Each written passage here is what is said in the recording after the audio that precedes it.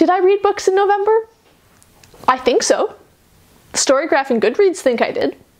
Do I remember anything about them? Not really.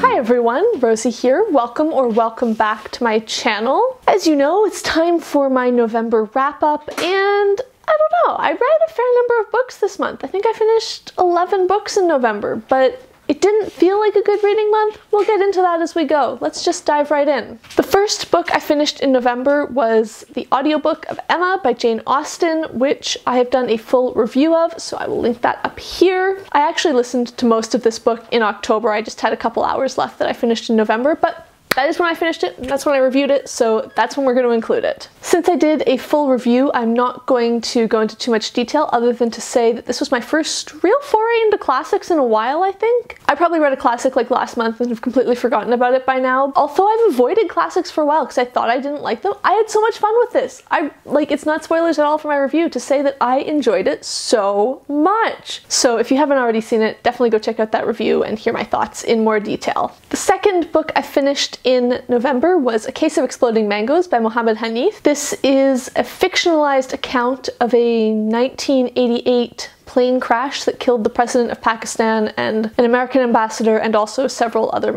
high ranking members of Pakistan's military and air force and stuff. This was dark and funny and not like most books I've read, but it was really fun. And I actually did a whole review about this one as well, so you can check that out up here. Then I finally finished one of my nonfiction November reads, Never Enough by Judith Grisel. This is all about the neuroscience of addiction, and it really highlights the extent to which addiction is a huge health issue in modern society. The author was an addict herself in her youth and then got sober, got a PhD, has worked in the field for like 30 years or something. So she has a really interesting perspective on this and I found the inclusion of her own experiences and her thoughts on what it was like for her was really interesting. I thought it was a really frank approach to the experience. She neither romanticized her experiences nor really heavily stigmatized it. She was really more interested in looking at it from a brain science way. Why do people become addicted to drugs? This book was a scientific look at how drugs affect our brains and how brains respond to our to drugs, both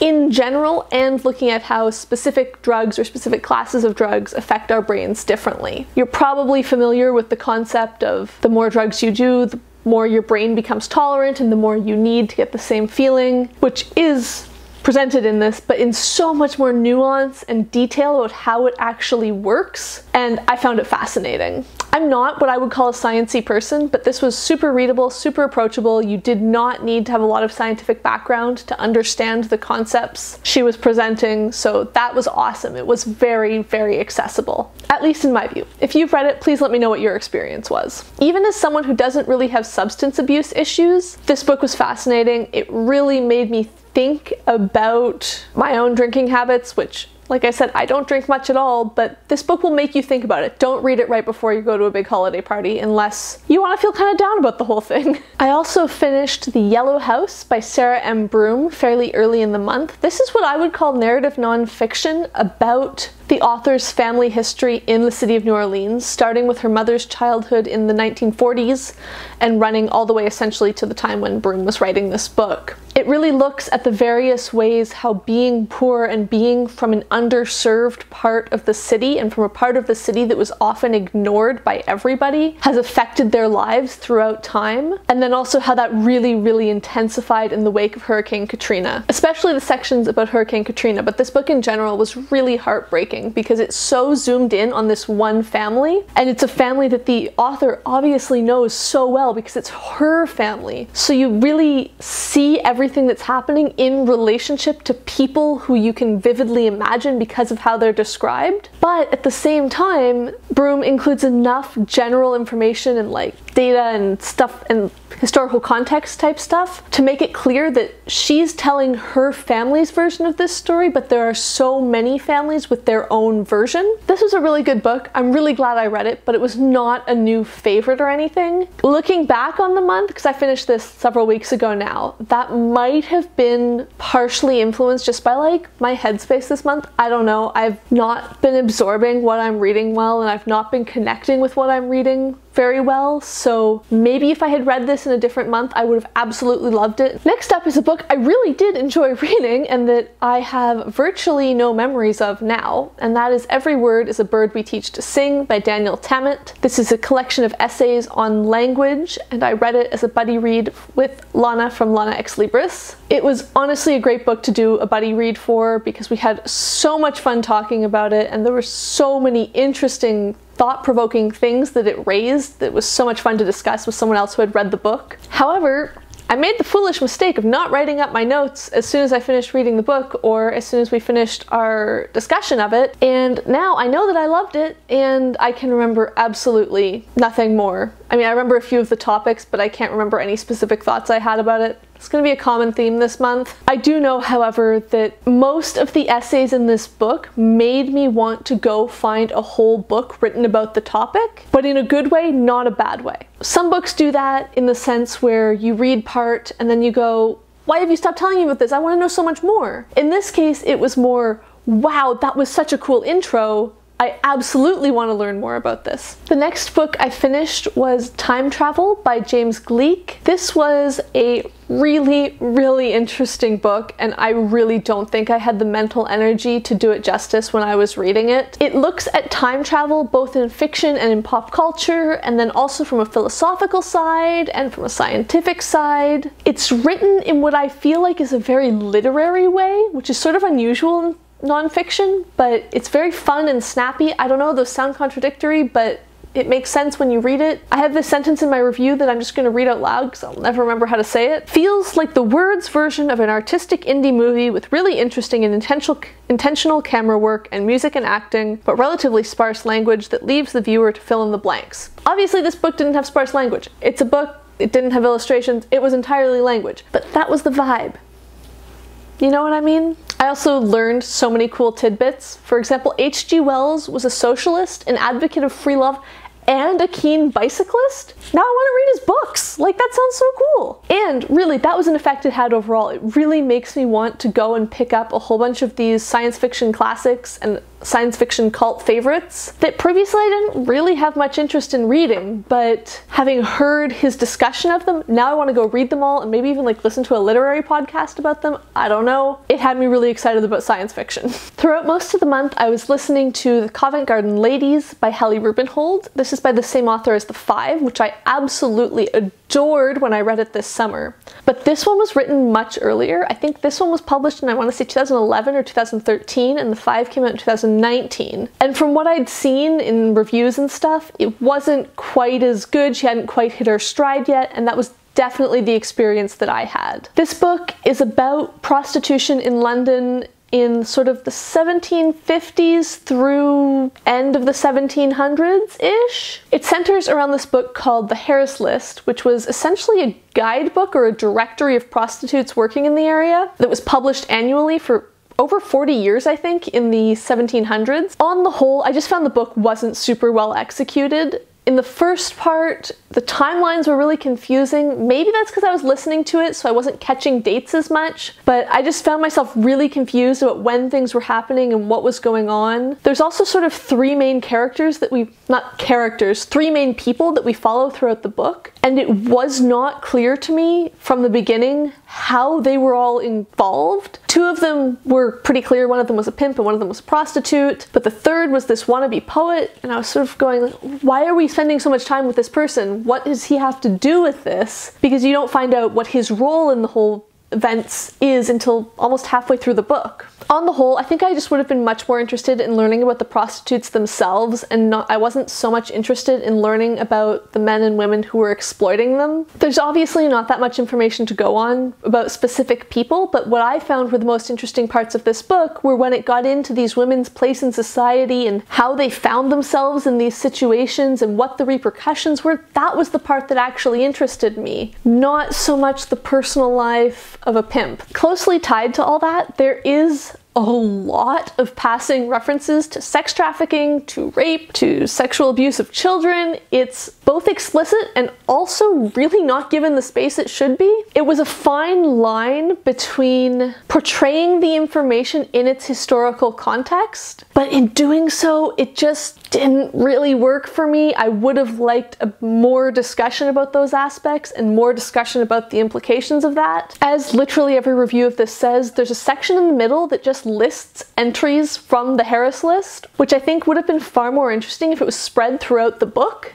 As it was, I think it was a solid hour or two of the audiobook, which made for some strange lunchtime walks where I'd spent like an entire hour out for a walk on my lunch break listening to these entries being read about these women. Honestly, if I was reading an ebook or a physical book, I probably would have just skipped that part because it was just very strange. As I alluded to at the beginning, I knew going in that this was not going to be as great as the 5 based on other reviews I'd seen, but even knowing that, unfortunately, it was kind of a letdown. The 5 was a hands down 5 star read for me. I absolutely adored it. I thought it was incredible. I sort of expected, okay, maybe this one's gonna be sort of a 4 star read. It's good, but it's not amazing. And I ended up giving it a 3 star, which for some people is average.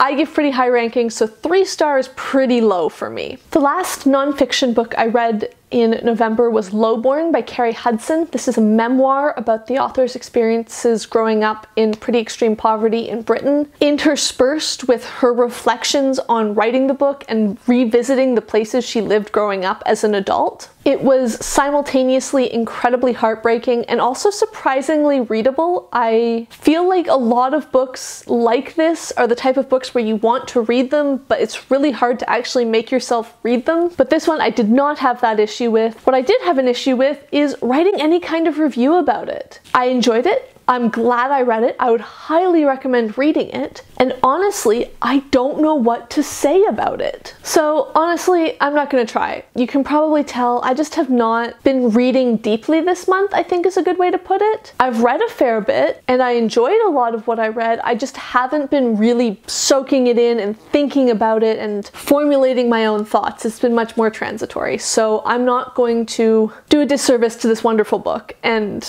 give you garbled, half formulated thoughts. I'm just gonna say it was great, I really liked reading it, and I don't really have a review for it. I will say trigger warnings for child abuse, neglect, sexual assault, rape, and discussion of abortions, and probably other things that I'm forgetting. The last weekend of the month was my birthday, and I decided to take a break from all the nonfiction because I've actually done pretty well on that front this month, and just lean into some good, fun, escapist fiction. So the first book I read was Snake Agent by Liz Williams Williams. This is about Detective Inspector Chen, who works in Singapore 3's police department solving supernatural and mythical crimes. And in this one, he has to investigate illegally trafficked souls. This is the first in a series, and I thought the world building was really well done. It was simultaneously really natural and also really effective.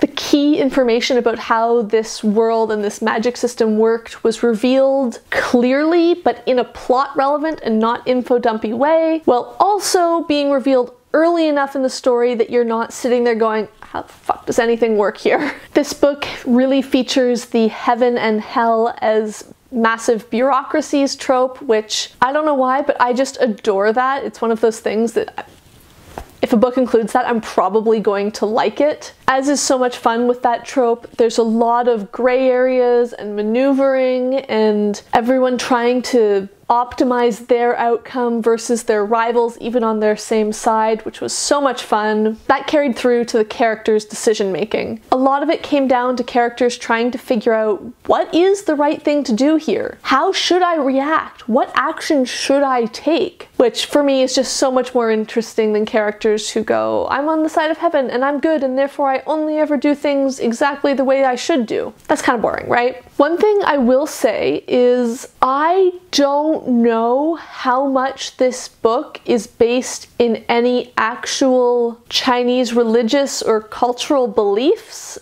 That's not a topic I know much about whatsoever, and the author is a British woman who I don't think has any Chinese ancestry. I might be wrong. So I'd be interested in hearing sort of an own voices review and see what that has to say, but I found it really interesting. I thought it was a cool setting, and I definitely want to pick up the sequel at some point. Next, I finished The Two Towers by J.R.R. Tolkien, which I had been reading throughout the month for the Tolkien Along, this was so much fun. I expected the first half to be amazing. I always love the section that focuses on Merry and Pippin and Aragorn, Legolas, and Gimli. That was amazing, as expected. What I did not expect was how much I loved the second half of this book. In my head, I really did not enjoy the Frodo, Sam, and Gollum part of this book. I just sort of always thought, oh, that's a section that honestly in past rereads I've just skipped. Or sometimes I've read it first and then gone back and read the first half because I like it more more, but I thought, no, you know what, I'm gonna do it properly this reread. I'm gonna read it from start to finish as Tolkien intended it, and I loved it. It was so much more fast paced than I remembered. The characters were so much better than I remembered. I just don't know what I read the last times I read the second half of this book because it was not this. On the whole, though, this is the first time I've read these books where I feel like I can say I'm liking the books as much, if not more, than the movies. And I say that as a die-hard fan of the movies. I have loved the Lord of the Rings movies since well before I even read the books. So I don't know if it's just that I'm a bit older now, if I'm coming at them from a different lens, what's going on, but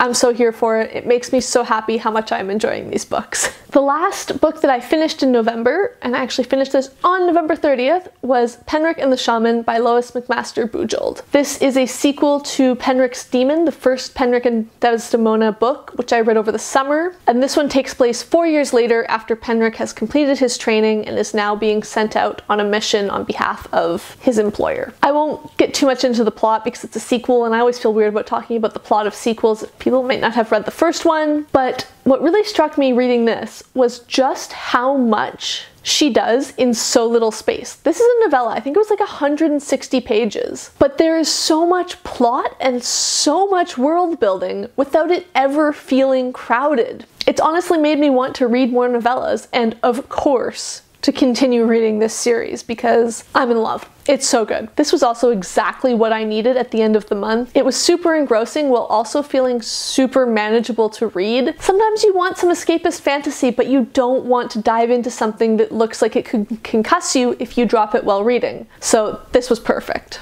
I also had one audiobook that I DNF'd this month. That was the Sawbones book, The Hilarious Horrifying Road to Modern Medicine by Sydnee McElroy and Justin McElroy. I picked this one up because it was short, it was on Scribd. I wanted an audiobook to listen to for a couple days before my subscription rolled over and I could get to the ones I really wanted to read. And I thought, hey, history of gross medicine, that sounds cool, I'm into that. Once I started listening, I realized that it was the book written by a couple who had had a podcast on this topic for many years, and I was like, perfect.